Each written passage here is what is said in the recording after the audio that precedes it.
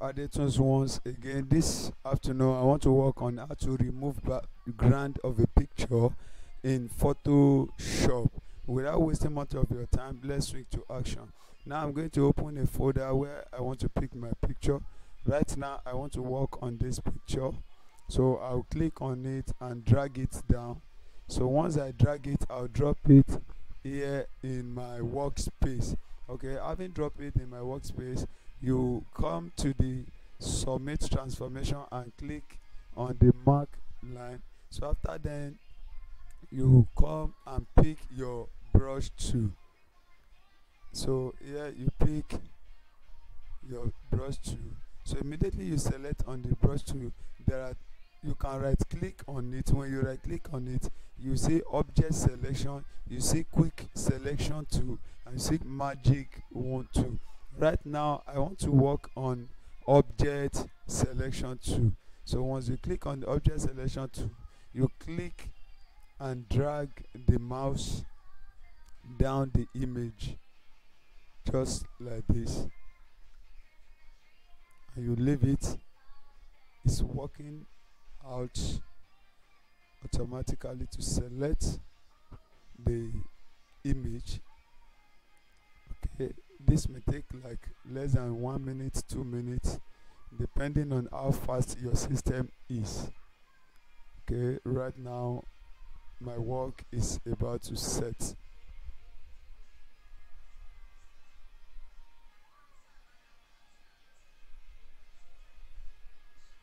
Okay you see that all look at all this selection that it select it automatically and appropriately so the next thing you want to do now is you come here where you have your layer and mask you say add layer mask okay after adding the layer mask that is the layer mask has automatically removed every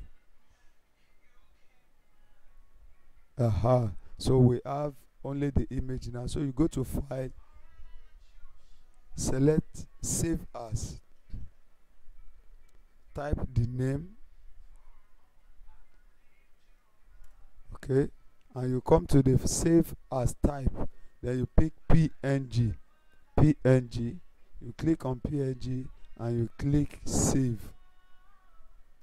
Then you click large file size depending on the value of the work.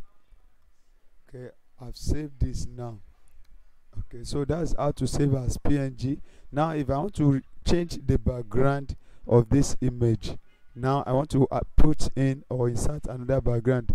So what i will do is i'll come to this where you have indicate layer visibility. I'll click on the eye symbol there and here i have blank space again. So now i want to click on rectangle you right click then you pick rectangle then you draw the rectangle.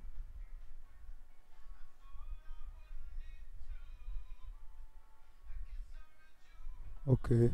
After drawing the rectangle automatically this edit uh, we call we spring up. So now i'm going to pick you see fill.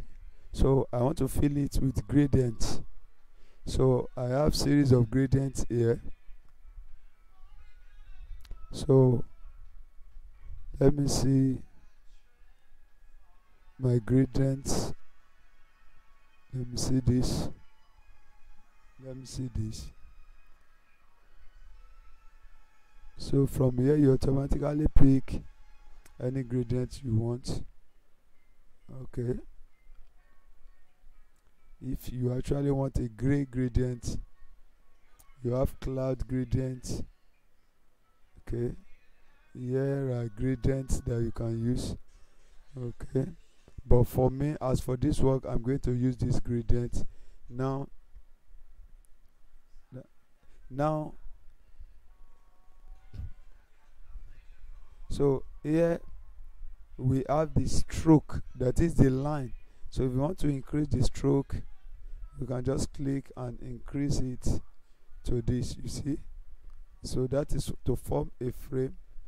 You can reduce the stroke to this but in this sense I want to remove the stroke. Okay? So now what I want to do is I want to adjust the stuff like this. Okay?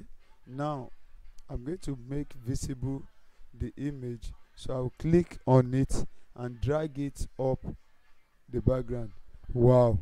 So this is another this is how to change a background of any image. Okay now this image I want to work on it. So you come to here we have blending option. So I want to add some options to the image now.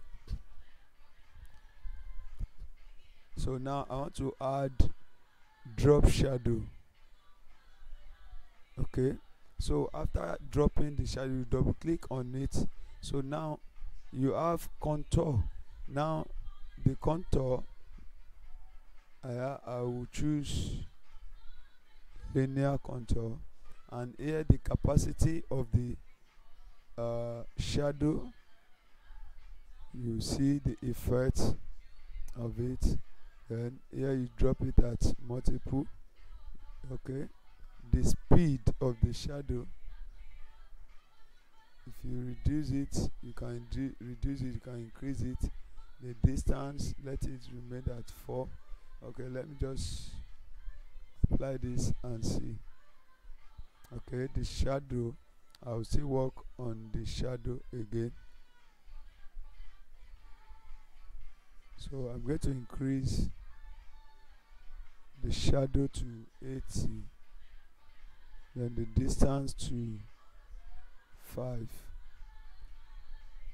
okay.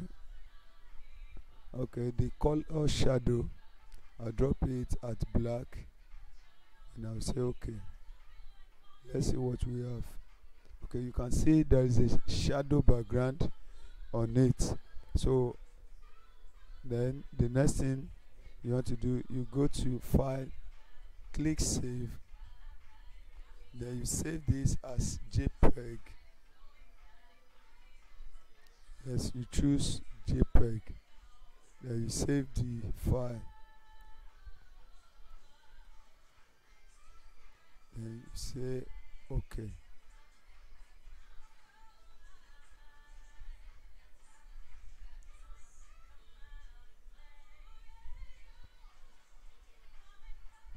so this is the end of today's tutorial. Don't forget to hit on the notification button. Don't forget to subscribe to my channel and i would love to see your comment in comment section for encouragement. Thank you. Till we meet again god bless you. I remain adetunes graphics. Keep practice. Graphics divine the world